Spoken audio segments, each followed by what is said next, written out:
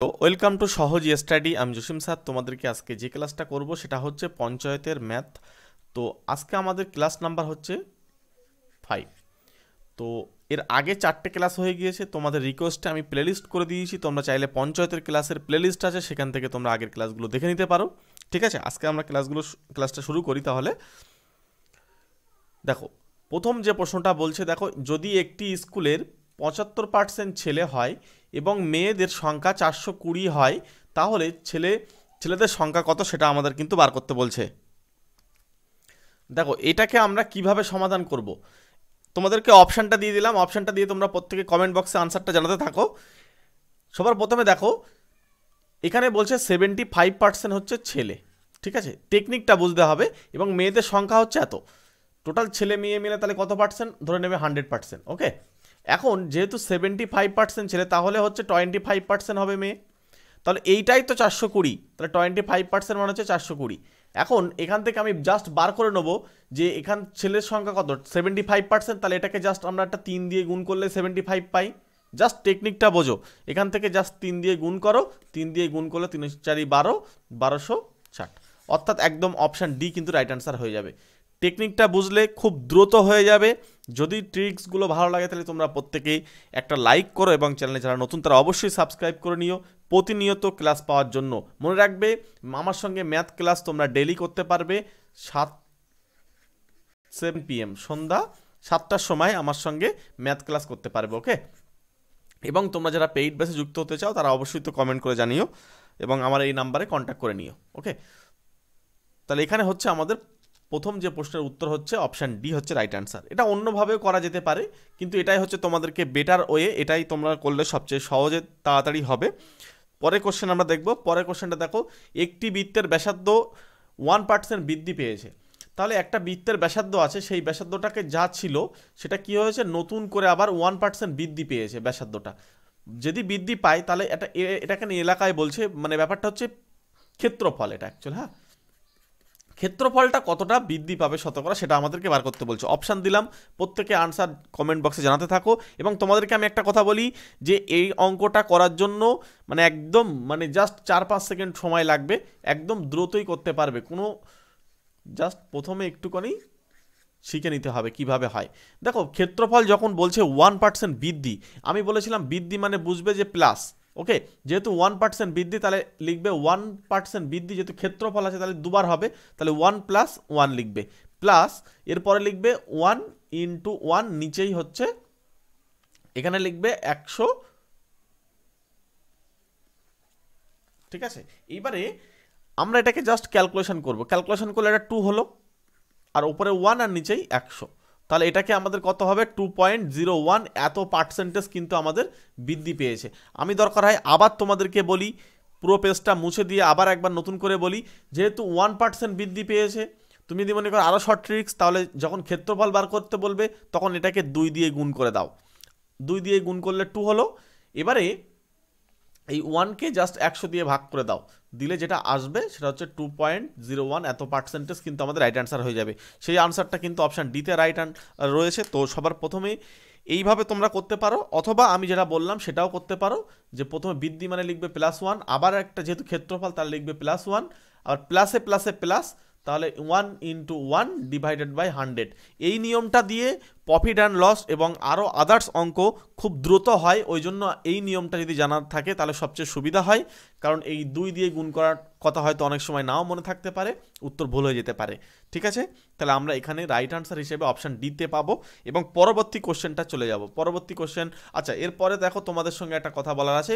অনলাইনে ব্যাজে তোমরা ম্যাথ করতে পারো, প্রত্যেকটা চ্যাপ্টার থেকে ধরে ধরে একদম জিরো লেভেল থেকে শুরু করা হবে, পুরো চ্যাপ্টার ওয়াইজ ঠিক আছে? সমস্ত পরীক্ষার বেসিক্যালি অ্যারোথমেটিক দেখবে অঙ্ক যে সিলেবাসটা যা লেখা থাকে সবসময় দেখবে সেখানে অ্যারোথমেটিকের কথা কিন্তু উল্লেখ করা থাকে। সেই অ্যারোথমেটিকটা আমরা তিন মাস ধরে পড়ে নেব, ঠিক আছে? কভার করে নেব। তোমাদেরকে পাঁচশো নিরানব্বই টাকা পে করতে হবে তিন মাসের জন্য, কিন্তু তোমাদের একটা অফারের জন্য আমি এটাকে চারশো নিরানব্বই করে রেখেছি ওকে চারশো নিরানব্বই দিলে তোমরা কিন্তু জয়েন হতে পারবে। তোমরা অবশ্যই এই নাম্বার দেওয়া আছে, এই নাম্বারে কন্ট্যাক্ট করে নিও। কন্ট্যাক্ট করে নিও ডিটেলস তোমরা জানতে পারবে।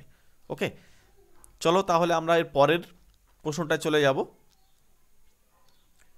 এবং তোমরা এটা মনে রাখবে, এটা কিন্তু জাস্ট কুড়ি তারিখ পর্যন্ত হ্যাঁ? কুড়ি তিন দু ঠিক আছে? এই ডেট পর্যন্তই কিন্তু থাকবে। এর পরে কিন্তু আবার এই ফিজটা যেটা ছিল, সেটা কিন্তু আবার আলাদা যে ফিজটা সেটা কিন্তু হয়ে যাবে। তখন কিন্তু আবার এই পাঁচশো নিরানব্বই টাকায় দিতে হবে। যাই হোক, তোমরা ডিটেলসটা ফোন করে বা হোয়াটসঅ্যাপে জেনে নিতে পারো। আমি পরের স্লাইডে চলে যাব। পরের স্লাইডে। এই প্রশ্নটা তোমরা আগের দিনকে আমাকে কমেন্ট করে জানিয়েছিলে যে এটা কীভাবে করবে। দেখো, আমি তোমাদেরকে বলি, তোমাদের যদি কোনো অঙ্ক প্রবলেম হয়, তোমরা আমাকে কমেন্ট করে জানাতে পারো যে এই ধরনের অঙ্কগুলো কীভাবে করবে, সেটা আমাকে কমেন্ট করে জানালে আমি পরের দিন ক্লাসে সেই অঙ্কটা নিয়ে চলে আসব, ওকে? অপশান দিলাম, তোমরা যারা সূত্র জানো, সে তারা প্রত্যেকে এটা আনসার করতে থাকো। প্রত্যেকে কমেন্ট বক্সে আনসারটা লিখতে থাকো। দেখো, ওখানে লাইভ চ্যাট চলছে, ওখানে আনসার লেখার জায়গা আছে, ঠিক আছে? লিখতে থাকো। এবং প্রত্যেকের ক্লাসটা কেমন লাগছে তোমরা অবশ্যই কমেন্ট করে জানিও। দেখো one cube plus two cube plus three cube এইভাবে চলতে চলতে এক সময় একশো কিউব পর্যন্ত লিখতে হবে এবং যোগ করতে হবে। হয়তো আমরা এই তিন চারটে পর্যন্ত করতে পারি, তারপরে গিয়ে তো আর পারব না। এখন যদি আমাকে নাইনটি নাইন তার কিউব বার করতে বলে, তাহলে কি পারবে? এখানে কিছু নিয়ম আছে। দেখো, আমরা উত্তরটা আগে দেখিয়ে দিলাম। উত্তরটা হচ্ছে অপশান সিতে এবার এত বড় উত্তর দেখে ভয় খাওয়ার কিছু নেই। এখানে নিয়মটা ভালো করে বোঝো। আমরা সূত্রটা দেখব। সূত্রটা দেখলে কিন্তু অঙ্কটা খুব সহজেই হয়ে যাবে। সূত্র হচ্ছে, দেখো, সূত্র হচ্ছে one cube plus two cube plus three cube plus dot dot dot n cube এই এনের মান যা কিছু হতে পারে, এখানে এনের মান যেহেতু একশো, তাহলে n into n plus one by two তাকে ঘিরে দিয়ে স্কোয়ার ফর্মুলাটা হচ্ছে এটা যে প্রত্যেকটা স্বাভাবিক সংখ্যার ঘনফলের যদি সমষ্টি বার করতে বলে, তাহলে কিন্তু এই ফর্মুলাটা কাজ করবে। এখানে এনের মান হচ্ছে একশো। তাহলে একশো তার সঙ্গে দেখো, একশো পরে এক যোগ করতে বলছে, অর্থাৎ একশো এক। আর নিচেই কিন্তু আমাদের হচ্ছে দুই। এখানে যদি আমরা কাটাকুটি করি, কাটাকুটি করলে কিন্তু আমাদের আসে পঞ্চাশ। তাহলে গুণ যদি আমরা করি, তাহলে কিন্তু আসে পঞ্চাশ পঞ্চাশ। ওকে? এবার এইটাকে জাস্ট বর্গ করতে হবে। বর্গ করাও তোমাদেরকে আমি একটা সহজ ওয়ে বলে দিই। দেখো, এখানে শূন্য থাকলে লাস্টে দুটো শূন্য লিখবে। টেকনিকটা বোঝো, দুটো শূন্য লিখবে। আর এই পাঁচশো পাঁচ, এই পাঁচশো পাঁচ আর এর সঙ্গে পাঁচশো ছয় গুণ করবে। এই দুটো সংখ্যা একসঙ্গে গুণ করবে। ওকে? গুণ করলে দেখবে অটোমেটিক্যালি আনসারটা চলে আসবে। না, এক মিনিট আচ্ছা এক মিনিট এক মিনিট, এটা একটা ভুল হয়েছে। এই টেকনিকটা অন্য ছিল, দাঁড়াও দাঁড়াও দাঁড়াও।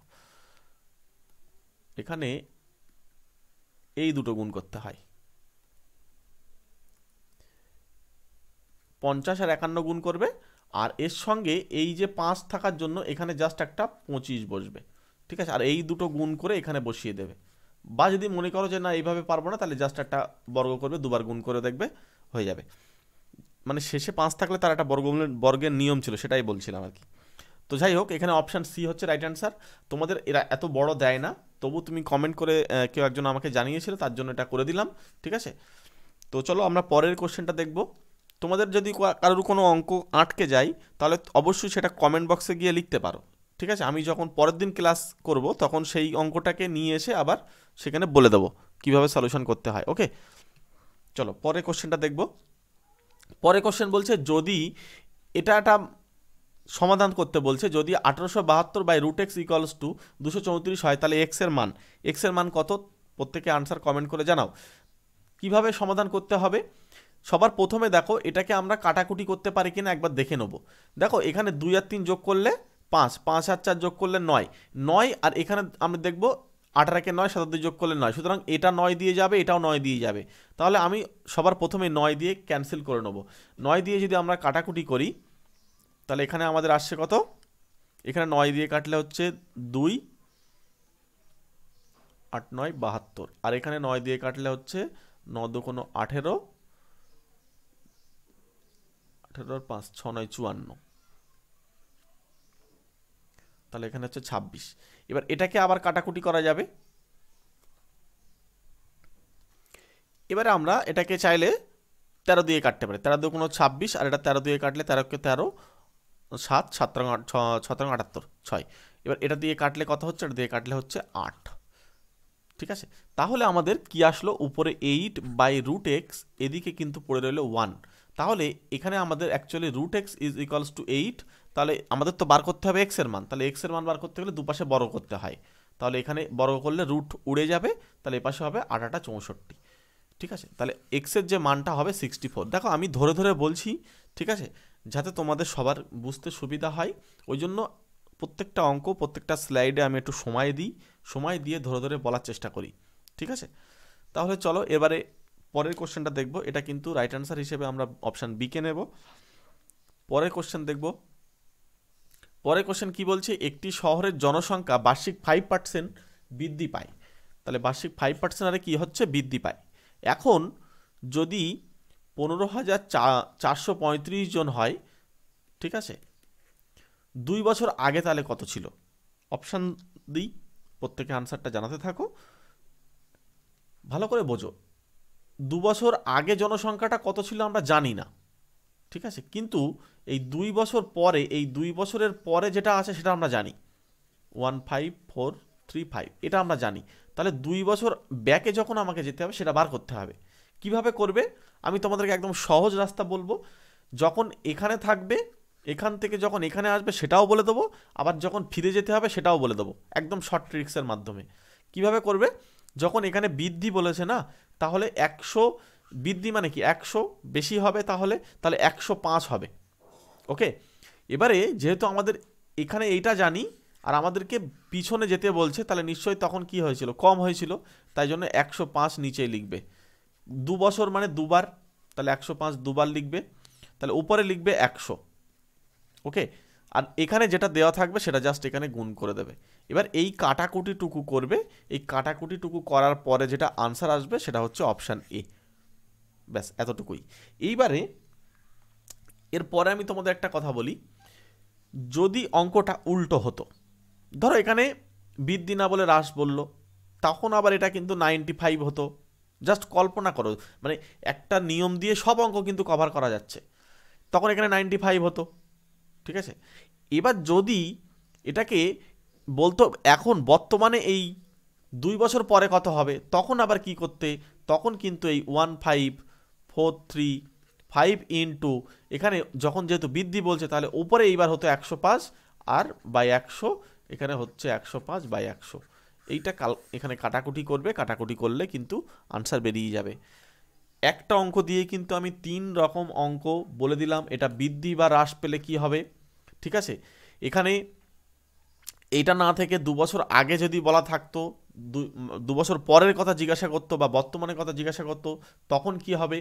মনে রাখবে, বেশি হচ্ছে না, কম হচ্ছে, তার উপরে ডিপেন্ড করে কিন্তু এইগুলো লিখতে পারবে। কখনো নিচে একশো থাকবে আর কখনো বা উপরে একশো থাকবে। যখন মনে রাখবে যে পূর্বে বা আগে কি ছিল, তখন মনে রাখবে এই একশো পাঁচটা নিচেই থাকবে, ঠিক আছে? আর একশোগুলো উপরে থাকবে। দিয়ে কাটাকুটি করবে, হয়ে যাবে। তাহলে এখানে অপশান এ রাইট অ্যান্সার হয়েছে, পরের কোশ্চেনটা চলে যাব।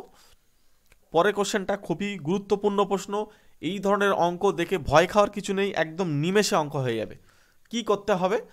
সবার প্রথমে বলছে রুট টু এই রুট টুর মান বলেছে one point four one two four two এখানে আমাদের কিন্তু রুট টুর ভ্যালুটা বলে দিয়েছে। যদিও রুট টু এখানে শেষ না রুট টু একটা অমূলার সংখ্যা মনে রাখবে। এর মান কিন্তু চলতেই থাকে চলতেই থাকে। এখন এই যে বড় একটা মান দিয়েছে, এই মানটার ভিতরে যদি কেউ এই রুট টুর মানটা এখানে বসিয়ে দেয়, দিয়ে যদি ক্যালকুলেশন করে, তাহলে অনেক চাপে পড়ে যাবে। সুতরাং তখন কিন্তু উত্তর নাও মিলতে পারে। তো এর প্ল্যানটা কি হচ্ছে? প্ল্যান হচ্ছে আমরা এখানে উপরে এবং নিচে রুট টু মাইনাস ওয়ান দিয়ে গুণ করব। জাস্ট আমি ডিটেলসে একটু বলে নিই। রুট টু মাইনাস ওয়ান দিয়ে যদি আমি ওপরে এবং নিচে গুণ করি, তাহলে নিচে হচ্ছে root two plus one into root two minus one okay এইবারে আমরা কি করব? এখানে রুট ছিল রুট থাক, কোনো অসুবিধা নেই। রুটের ভিতরে এটা অ্যাকচুয়ালি হচ্ছে কি? রুট টু মাইনাস ওয়ান তাকে ঘিরে দিয়ে স্কোয়ার হচ্ছে, আর নিচে হচ্ছে রুট টু তাকে ঘিরে দিয়ে স্কোয়ার মাইনাস ওয়ান তাকে ঘিরে দিয়ে স্কোয়ার কেন? এটা A square minus B square সূত্র পড়বে। এবারে নিচেই খেয়াল রাখো, নিচেই কিন্তু আমাদের আসছে কি? রুট টু মাইন রুট টুকে স্কোয়ার করলে কিন্তু টু হবে ওকে তাহলে আমরা নিচেই কি লিখতে পাচ্ছি? টু মাইনাস ওয়ান আর ওপরে দেখো রুট টু মাইনাস এর ওয়ান তার স্কোয়ার এখন নিচেই তো ওয়ান আসে, উপরেরটা কি হবে? যেহেতু স্কোয়ার আছে, তাহলে রুট থেকে বেরিয়ে আসবে। তাহলে রুট টু মাইনাস ওয়ান হবে। রুট টুর মান কত জানি? One point four one four two তাহলে এখানে তার থেকে ওয়ান বাদ, তাহলে এই ওয়ানটা ক্যান্সেল হবে। তাহলে এই পুরো জিনিসটা উত্তর হবে। সেই উত্তর অপশান সিতে আসে। তো এটা হচ্ছে জাস্ট মানে ধারণা নেওয়ার জন্য এইভাবে করা যেতে পারে। এবার আমি তোমাদেরকে টেকনিকটা দিই দেখো। এরম অঙ্ক যদি তোমরা সহজে করতে পারো, সেটা হচ্ছে দেখবে এদের মধ্যে এই দুটো সংখ্যার মধ্যে যদি বর্গ করে গ্যাপ ওয়ান হয় কত? রুট টু তাকে স্কোয়ার আর ওয়ান তাকে স্কোয়ার। এদের মধ্যে বর্গ করে যদি গ্যাপ ওয়ান হয়, অর্থাৎ টু মাইনাস ওয়ান, তাহলে যদি ওয়ান হয়, তাহলে একদম সরাসরি এই যে মানটা যদি উপরে মাইনাস হয়ে বসে থাকে, তাহলে একদম সরাসরি এই রুট টু থেকে মাইনাস ওয়ান, এটাই কিন্তু আনসার হবে, রুট টু মাইনাস ওয়ান। সুতরাং এই রুট টুর মান এটা থেকে জাস্ট ওয়ান বাদ দিয়ে দেবে, অর্থাৎ এই ওয়ানটা ক্যান্সেল করে দেবে, এটা কিন্তু অটোমেটিক্যালি আনসার চলে আসবে। কীভাবে বললাম? আবার বলি। এদের মধ্যে বর্গ করবে রুট টু যদি এখানে রুট থ্রি থাকতো, ধরো এখানে রুট থ্রি থাকতো, কথার কথা। এখানে রুট টু থাকতো, তাহলে এটা বর্গ করতে হতো দুজন আর কি বর্গ করলেও দেখো গ্যাপ ওয়ান হতো। তখন কিন্তু আনসার হতো এই root three minus root two এবার তখন রুট থ্রির মানটাও দেওয়া থাকতো রুট টুর মানটাও দেওয়া থাকতো, দুজনের বিয়োগ করলেই কিন্তু আনসার হয়ে যেত। ঠিক আছে? তো এক্ষেত্রে আমরা দুজনের বর্গ করে দেখব। যদি ওয়ান হয়, তাহলে এই উপরে একে অপরে এটা অনুবন্ধী বলে, অনুবন্ধী বসে আছে, তখন রুট থেকে অটোমেটিক বেরিয়ে আসবে, বাইরে বেরিয়ে আসলেই কিন্তু আনসারটা বেরিয়ে যাবে ওকে ধারণাটা জাস্ট ক্লিয়ার করো, এবং এই রিলেটেড অঙ্ক যখন সামনে পাবে, একটু প্র্যাকটিস করে নেবে, এবং টেকনিক যেগুলো বলি, সেগুলো দরকার হয় খাতায় নোট ডাউন করে নেবে, নিয়ে কিন্তু এগিয়ে যাও, আর যদি তোমাদের বেশি টেকনিক জানার ইচ্ছা হয় বা আরও ক্লাস করার ইচ্ছা হয়, তাহলে আমাদের সঙ্গে পেইড ব্যাসে যুক্ত হয়ে যাও, সেখানে ধরে ধরে প্রত্যেকটা চ্যাপ্টার ওয়াইজ কিন্তু ক্লাস করা হবে। চার সংখ্যার সর্বনিম্ন সংখ্যা যা একটি নিখুঁত বর্গ বা পূর্ণবর্গ সংখ্যা। এখন মনে রাখবে, পূর্ণবর্গ সংখ্যা মানে শূন্য সংখ্যা বিজোড় থাকতে পারে না। ঠিক আছে? শূন্য সংখ্যা কিন্তু বিজোড় থাকতে পারে না। এবার চার অঙ্কের সর্বনিম্ন সংখ্যা। সর্বনিম্ন সংখ্যা যা একটি নিখুঁত পূর্ণবর্গ সংখ্যা। এখন আমরা যদি এই এখানে যেহেতু অপশানটা খুব কাছাকাছি আছে মানে সহজই আছে, তো আমরা দেখো তিরিশকে যদি স্কোয়ার করতাম, তাহলে কত হতো? নশো হতো। আর যদি এগারোকে স্কোয়ার এখানে যদি একচল্লিশকে যদি আমরা স্কোয়ার করি, তিরিশ আচ্ছা বত্রিশ। বত্রিশকে যদি বা একত্রিশকে যদি স্কোয়ার করি, বত্রিশকে করলে হচ্ছে হাজার চব্বিশ। আর একত্রিশকে যদি আমরা স্কোয়ার করি তাহলে হচ্ছে thirty one into thirty one গুণ করো ওয়ান থ্রি থ্রি নাইন তাহলে হচ্ছে নাইন সিক্স ওয়ান এখানে এই নাইন সিক্স ওয়ান কিন্তু আবার তিন অঙ্কের, চার অঙ্কের না। তাহলে চার অঙ্কের কিন্তু এই হাজার চব্বিশটা হচ্ছে সবচেয়ে ছোট সংখ্যা। ঠিক আছে? এটা একটা সহজ প্রবলেম জাস্ট একটু ক্যালকুলেশন করলেই বলে দেওয়া যাবে। তো এখানে এক্ষেত্রে হচ্ছে সি হচ্ছে রাইট অ্যান্সার পরের কোশ্চেন দেখব। এটা একটা ভালো প্রশ্ন।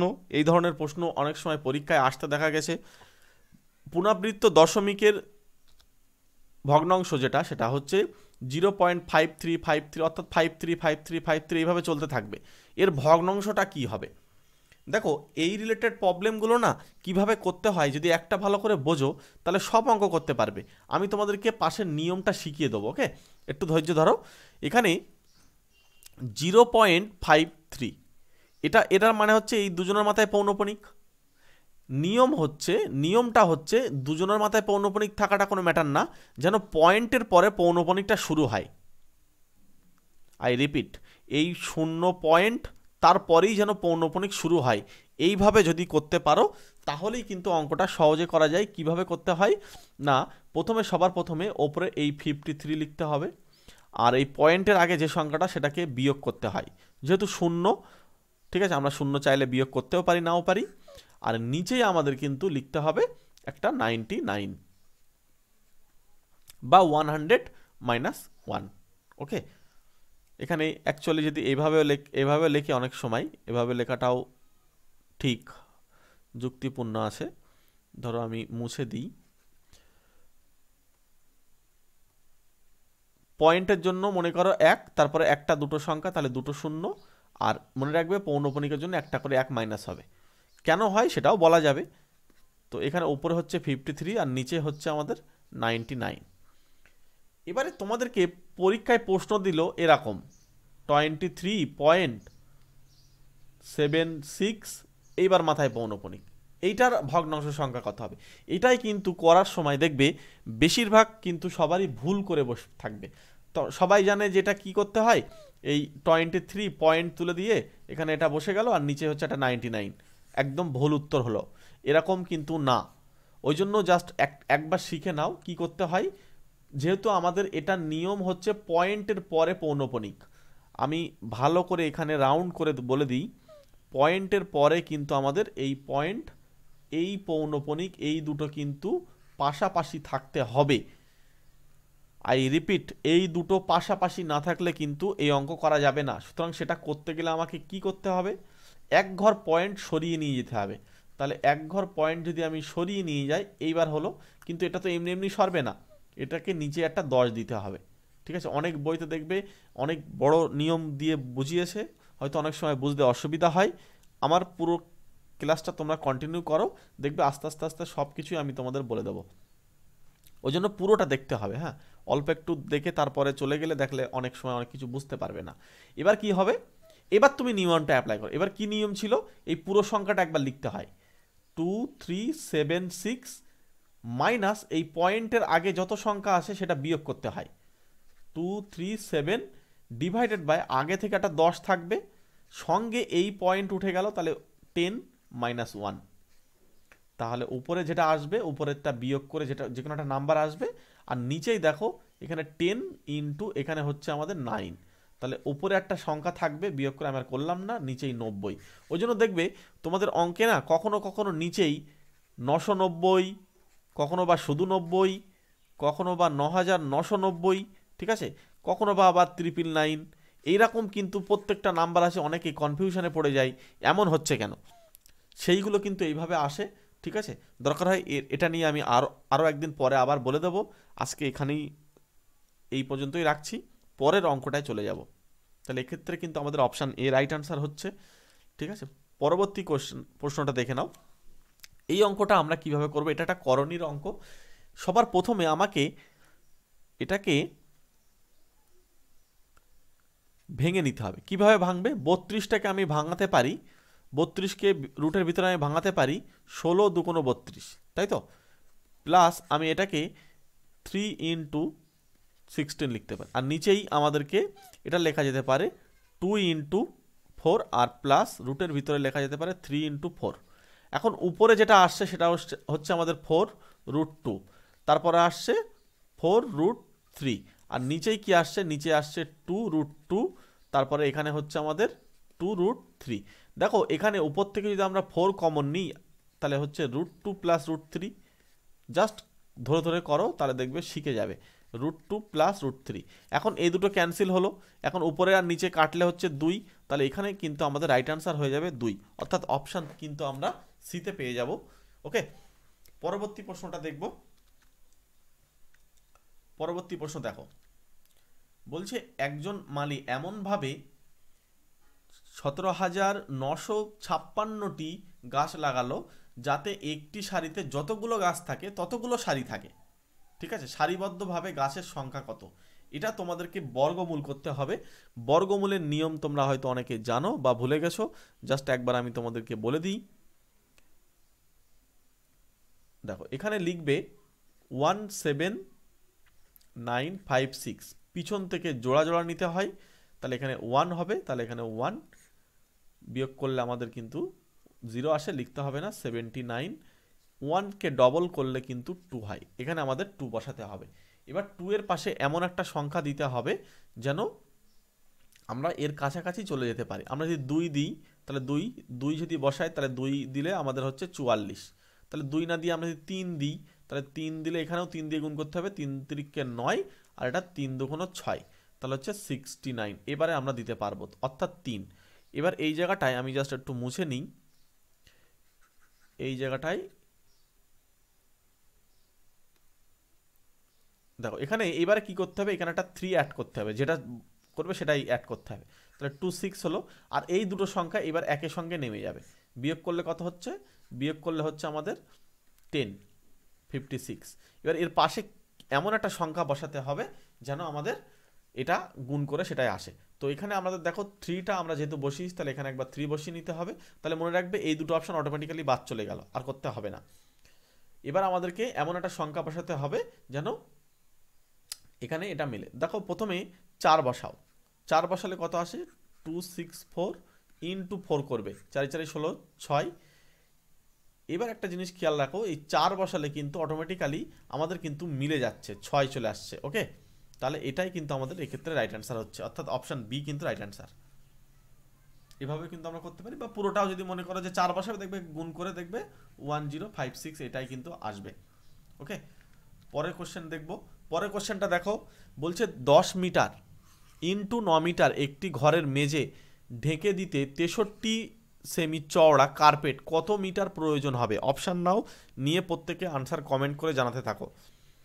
দেখো, এখানে এককটা মনে রাখবে খুব ভাইটাল এখানে কত বলছে? চোদ্দ মিটার এবং ন মিটার। একটি ঘর আছে, সেই ঘরকে কার্পেট দিয়ে ঢেকে ফেলবে, সেটা হচ্ছে তেষট্টি মি সেমি চওড়া, এখানে সেমি বলেছে আবার। কার্পেট দিয়ে কত মিটার প্রয়োজন হবে? আচ্ছা আমাদের উত্তর চাচ্ছে আবার মিটার। তাহলে কার্পেটের যে আমরা দৈর্ঘ্য যেটা বার করব, সেটাকে যদি আমরা জানি না, সেটা এক্স ধরে নিলাম, মনে করছি এক্স তাহলে ইনটু সিক্সটি থ্রি যেহেতু সিক্সটি থ্রি সেমিতে আসে, তাহলে ওটাকে মিটারে নিয়ে যাও, তাহলে সিক্সটি থ্রি বাই হান্ড্রেড এইটা তো এই ওপরের সঙ্গে সমান হওয়ার কথা, অর্থাৎ ফরটিন ইন্টু নাইন মিটার বললেও বলতে পারো। এবার দেখো, এখান থেকে কাটাকুটি করো, সাত দিয়ে কাটলে, এখানে আমরা যদি সাত দিয়ে কাটি নয়, তাহলে এখানে হলো দুই, এটা নয় দিয়ে কাটলে নয়। তাহলে এক্স ইজ ইকুয়ালস হচ্ছে কোনাকুনি গুণ করলে দুশো। তাহলে এক্সের যে মানটা আসবে, সেটা হবে দুশো মিটার। অর্থাৎ অপশান বি কিন্তু রাইট অ্যান্সার হচ্ছে ওকে পরবর্তী কোশ্চেন দেখব। অপশান বি হচ্ছে রাইট অ্যান্সার পরবর্তী প্রশ্ন। দেখো, এখানে বলছে root five plus cube root of x is equals to three হলে এক্সের যে মান সেটা কত? কীভাবে বার করবে? দেখো, প্রথমে রুটটাকে তাড়াতে হবে। রুটটা এমনি এমনি তাড়ানো যাবে না। রুটকে বর্গ করলে তবে তাড়ানো যায়। অর্থাৎ এখানে হচ্ছে five cube root of x এইটা হচ্ছে ওপাশে গিয়ে স্কোয়ার করতে হবে। তখন দুপাশে, এপাশেও স্কোয়ার করলাম। এবং এ পাশেও স্কোয়ার করলাম। তাহলে এ পাশে স্কোয়ার করলে নাইন, এই ফাইভটা কিন্তু ওই পাশে গিয়ে বিয়োগ হয়, অর্থাৎ মাইনাস ফাইভ হবে, তাহলে হবে ফোর তাহলে আমি পেলাম কি? Cube root of x is equals to four এবার এই কিউব রুটটা যাবে না এমনি এমনি ঘনমূলটা, একে দুপাশে ঘনমূল মানে ঘন করতে হবে। তাহলে ঘন করলে দুই পাশে আমাকে কিউব করতে হবে, অর্থাৎ এখানে বলা যাবে ফোর কিউব তাহলে ফোর কিউব মানে four into four into four চারি চারি ষোলো, চার ষোলো, চৌষট্টি। তাহলে সিক্সটি ফোর কিন্তু রাইট আনসার মনে রাখবে এই রিলেটেড অঙ্কগুলো না ভয় খাওয়ার কিছু নেই, এইগুলোই কিন্তু সহজ হয় এবং দ্রুত হয়। হয়তো তোমরা অনেক সময় ভাবো যে এই ধরনের অঙ্কগুলো করা চাপ হয় অ্যাকচুয়ালি এই ধরনের অঙ্কই কিন্তু সহজ হয় বেশি। ঠিক আছে? চলো পরবর্তী প্রশ্ন দেখে নেব। এই অঙ্কটা তোমরা আমাকে একজন কন্ট্যাক্ট করে বলেছিলে, ঠিক আছে? যে এই অঙ্কটা বুঝতে অসুবিধা হচ্ছে। ঠিক আছে? আমি ওই জন্য এই আগের দিনের ক্লাস থেকে এই এই স্লাইডটা নিয়ে আসলাম। এটা আমি আবার একবার তোমাদের বলে দিই। কেন বুঝতে অসুবিধা হবে? এক্স ওয়াই জেডের গড় ওজন হচ্ছে ফর্টি ফাইভ কেজি। তাহলে x plus y plus z divided by three যেহেতু বুঝতে অসুবিধা হয়েছে, আমি একটু ধরে ধরে করি। এটা এটা কি আমি লিখতে পারি? তাহলে কি হচ্ছে? X plus y plus z যেটা আসছে, সেটা থ্রি ইন্টু ফর্টি ফাইভ খেয়াল রাখো একটু ঠিক আছে? এটা এটা একটা নম্বর দিয়ে রাখো। মনে মনে ভাবো এটা একটা নম্বর রয়েছে, এক নম্বর দিয়ে। আমি ডিটেলসে যাচ্ছি না, যেহেতু তোমরা বুঝতে অসুবিধা হয়েছে একজন বলেছ, তার জন্য আমি স্পেশালি একটু আরেকবার বলে দিই। মনে করো আজকে ক্লাস এখানেই শেষ করব, কিন্তু একটু আগের দিনের অঙ্ক যারা বুঝতে পারেনি, তাদের জন্য একটু বলে দিই।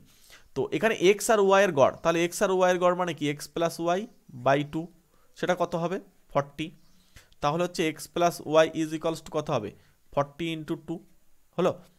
এবার আবার কি বলছে? ওয়াই আর জেডের গড়। ওয়াই আর জেড তাহলে y plus z divided by two সেটা কত আসবে? ফর্টি থ্রি তাহলে ওয়াই প্লাস জেডের সমষ্টি কত আসবে? Forty three into two okay এবারে দেখো, এই দুটোকে যদি আমরা যোগ করতাম, মনে করো এটা একটা দু নম্বর ইকুয়েশান দিচ্ছি, এটা তিন নম্বর ইকুয়েশান দিচ্ছি। জাস্ট ধরে ধরে করছি একটুখানি বোঝার জন্য। যদি যোগ করি, তাহলে আমার আসছে কি? এ পাশে এক্স একটা আছে, তাহলে এক্স হলো ওয়াইয়ের সঙ্গে ওয়াই যোগ হবে, তাহলে টু ওয়াই হলো। ইয়েস অন্য আর দেখো জেড একটা আছে, তাহলে জেড প্লাস জেড হবে। ওই পাশে কি হবে? এই পাশে হবে চল্লিশ ইন্টু দুই গুণ করলে আশি। প্লাস তার সঙ্গে কি হবে? এইটা দুই গুণ করা হচ্ছে ফর্টি থ্রি মানে এইটটি সিক্স তাহলে এটা যা হোক একটা সংখ্যা আসবে। এবার আমি বলেছিলাম যে এটা থেকে জাস্ট বিয়োগ করলে জাস্ট ওয়াই পড়ে থাকবে। আমাদের শুধুমাত্র ওয়াইয়ের ওজন বার করতে বলছে বলে আমরা এই কাহিনীটা করব। তাহলে x plus y plus z is equals to হচ্ছে forty five into three just বিয়োগ করো। এখানে যখন বিয়োগ করবে, এই জেড এই এক্স কেটে যাবে। এটা বিয়োগ করলে শুধু ওয়াই পড়ে থাকে। দেখো, এটা ডিটেলসে বলা দরকার হয় না, তবু বললাম। তো এখানে জাস্ট বিয়োগ করলে থার্টি ওয়ান আসবে। একবার বিয়োগ করে দেখো, এখানে কত হচ্ছে? একশো আঠার আট ষোলো। একশো ছেষট্টি মাইনাস এখানে হচ্ছে একশো পঁয়ত্রিশ। বিয়োগ করলে থার্টি ওয়ানই তো আসছে। দেখো থার্টি ওয়ানই এসছে। এবার আমি তোমাদেরকে এইটা শর্ট ট্রিক্সের মাধ্যমে বলার জন্য আমি তোমাদেরকে আগের দিন এইভাবে বলেছিলাম, যখন এরকম ওয়াইয়ের মানটা বার করতে বলছে, আর ওয়াই যেহেতু দু জায়গায় আছে, মনে রাখবে এই ওয়াইটা দু জায়গায় আছে, এর শেষে এবং এর শুরুতে। যদি এই দু জায়গায় থাকে, তাহলে ডাইরেক্ট এই ওয়াইয়ের মানটা লেখা যাবে। কি লেখা যাবে? এই দুজনার সঙ্গে আমরা যোগ করব, অর্থাৎ চল্লিশ দুই ইন্টু চল্লিশ প্লাস এটা মাইনাস এই এটা যেটা থাকবে, এটার সঙ্গে তিন গুণ ফর্টি ফাইভ ইন্টু থ্রি এবার এটা ক্যালকুলেশন করবে ক্যালকুলেশন করলে যেটা আসবে সেটা answer one thirty five thirty one এখন এই ট্রিক্সটা তোমাকে মনে রাখতে হবে, এটা কিন্তু একটা ভীষণ ভাইটাল বিষয়। এটা মনে রাখা তখনই সম্ভব যখন তুমি আগের জিনিসগুলো জানো। মানে আমি আগে যে ক্যালকুলেশনটা বলেছিলাম না, ওটা যদি তুমি জানো তাহলে দেখবে এটা তোমার অটোমেটিক্যালি মনে চলে আসবে। ওই জন্য শর্ট ট্রিক্স শেখার আগে বেসিক ধারণাটা ক্লিয়ার করতে হয়। ঠিক আছে? এই অঙ্কটা অ্যাকচুয়াল করতে হয় কীভাবে? এবার তুমি স্টেপ জাম দিয়ে অঙ্ক করো। শর্ট ট্রিক্স আজকে করবে, দুদিন পরে ভুলে যাবে। ওই জন্য শর্ট ট্রিক্সের আগে বেসিকটা ক্লিয়ার রাখো। বেসিক ক্লাস এবং শর্ট ট্রিক্স ক্লাস পেতে আমার চ্যানেলের সঙ্গে যুক্ত হয়ে যেতে পারো অথবা আমাদের পেইড ব্যাসে যুক্ত হতে পারো। অপশান সি কিন্তু রাইট অ্যান্সার হবে। যে আমাকে কমেন্ট করেছিলে বা কন্ট্যাক্ট করেছিলে, তুমি আবার একবার দেখে নাও, এটাই কিন্তু ঠিক হবে। ওকে দেখো, আমরা পরের প্রশ্ন দেখব। পরের প্রশ্ন, বন্ধুরা, আজকে তোমাদেরকে এটা এইচ ডব্লিউ ছেড়ে দিলাম। তোমরা প্রত্যেকে কমেন্ট বক্সে এটা আমার উত্তরটা জানাবে এবং তোমাদেরকে এর সঙ্গে আরও একটা কথা বলে রাখি। তোমরা অনেকে আমাকে বলছো যে জিকে ম্যাথ ইংলিশ সম, সব বিষয় কিন্তু পরপর ক্লাস নিয়ে আসতে। খুব ভালো কথা। তোমরা প্রত্যেকে কমেন্ট করো, ঠিক আছে? তোমাদের কমেন্টের ওপরে ভিত্তি করে আমি অন্য টিচারদের কিন্তু ক্লাস করার জন্য নিয়ে আসব। যেহেতু আমি ম্যাথ সাবজেক্টটা করাচ্ছি সুতরাং আমি ম্যাথটাই করাবো আপাতত।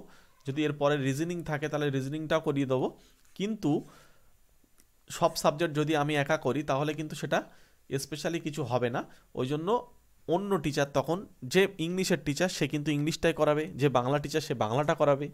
যে জিকে পোর্শনটা ভালো বোঝে, সে জিকেটা করাতে পারবে, আমার থেকে ভালো পারবে।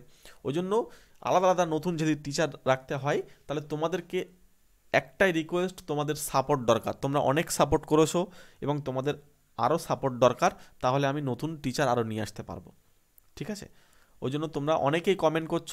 আমি আবারও বলছি, তোমরা কমেন্ট করো যে তোমাদের সত্যিই টিচারে আরও আদার্স টিচার নিয়ে আসব কি না তাহলে আমি নতুন নতুন টিচার নিয়ে আসব ওকে প্রত্যেকে কমেন্টে জানাবে এবং ক্লাস কেমন লাগছে সেটাও জানিও। ঠিক আছে?